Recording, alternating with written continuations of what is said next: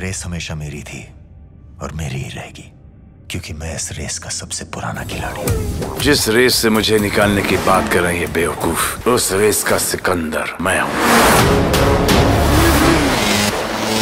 तो दोस्तों, साल सन 2008 यानी कि तकरीबन 16 साल पहले, बॉलीवुड में बनी थी एक हॉलीवुड स्टाइल की बड़ी एक्शन फ़िल्म फ़िल्म का नाम था रेस जिसे उस वक्त 48 करोड़ के बजट में बनाया गया था। और इस फ़िल्म ने उस टाइम यानी कि 2008 में ही 100 करोड़ से भी ज़्यादा का बॉक्स ऑफ़िस कलेक्शन किया था। सैफ अली खान, अक्षय खन्ना, विपाशा बासु, अनिल कपूर, कटरीना कैफ और समीरा रेड्डी स्टारर इस फ़िल्म को फैंस में बहुत पसंद किया गया था, जिसकी वजह से 2012 में जब रेस टू आई तो उसे भी फैंस ने उतना ही प्यार दिया। फ़िल्म में जॉन इब्राहिम और सैफ अली खान को बहुत पसंद किया गया। एक सौ तिरासी करोड़ का बॉक्स ऑफ़िस कलेक्शन इस फ़िल्म में भी पार कर लिया था। लेकिन दोस्तों रेस थ्री जो कि इन दोनों पार्टों से बिल्कुल अलग थी, जहाँ सैफ अली खान और जॉन इब्राहिम की बजाय इस फ़िल्म में सलमान खान नज़र आए थे। और सलमान खान की मौजूदगी की वजह से ही इस फ़िल्म ने 300 करोड़ का बॉक्स ऑफ़िस कलेक्शन पार कर लिया था। हालाँकि फ़िल्म ब्लॉकबस्टर होने के बाद भी रेस थ्री में सलमान खान के साथ लोग सैफ अली खान और जॉन इब्राहिम को देखना चाहते थे। और अब दोस्तों, खबरें आ रही है की रेस फोर बनने वाली है, जहाँ सलमान खान के साथ इस बार सैफ अली खान और जॉन इब्राहिम भी देखने को मिल सकते हैं। जी हाँ दोस्तों, जिसकी कुछ हिंट अमीशा पटेल ने अपने इंटरव्यू में दी है कि इस बार रेस फोर में ओजी स्टार कास्ट देखने को मिलने वाली है। और अगर दोस्तों रेस फोर में सलमान खान के साथ सैफ अली खान, जॉन इब्राहिम, बॉबी देवल अनिल कपूर एक साथ दिखाई देते हैं तो ये तो कन्फर्म है की इतनी बड़ी स्टार कास्ट के साथ बॉक्स ऑफ़िस पर तहलका मच जाएगा। हालाँकि दोस्तों फ़िल्म की अनाउंसमेंट कब तक होगी, ये कंफर्म नहीं है, लेकिन दोस्तों खबरें आ रही है कि रेस फोर पर काम चालू हो चुका है और 2025 तक इस फ़िल्म की अनाउंसमेंट हो सकती है। तो ऐसे में दोस्तों, इतनी बड़ी स्टार कास्ट के साथ, यानी कि सलमान खान, बॉबी देवल जॉन इब्राहिम, सैफ अली खान और अनिल कपूर एक साथ नज़र आते हैं तो आप इस फ़िल्म को लेकर कितने एक्साइटेड रहेंगे? कमेंट करके ज़रूर बताएँ। वीडियो अच्छी लगी हो तो वीडियो को लाइक करें और मूवी से रिलेटेड ऐसी अपडेट्स के लिए माई टॉक्स को सब्सक्राइब कर ले। मैं मिलता हूँ आपको नेक्स्ट अपडेट के साथ।